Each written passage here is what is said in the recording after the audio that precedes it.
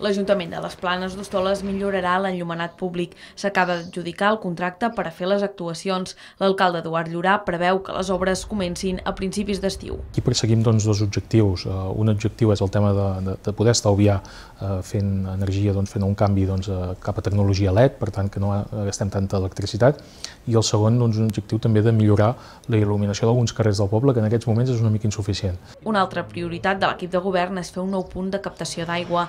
Aquest projecte, però, no es podrà tirar endavant el 2017, ja que es necessitava una subvenció de l'Agència Catalana de l'Aigua que ha estat denegada. Si no podem, podem comptar amb recursos de l'Agència Catalana de l'Aigua, l'haurem de fer amb recursos propis. Però repeteixo, aquí jo crec que l'Agència Catalana de l'Aigua és important que mesuri com dona les subvencions i que ponderi una mica doncs, la importància que té una subvenció d'aquestes per un municipi com el nostre. De moment no manca el subministrament d'aigua, però Llorà explica que és necessari un nou punt de captació per prevenir problemes futurs, ja que la xarxa a vegades va saturada.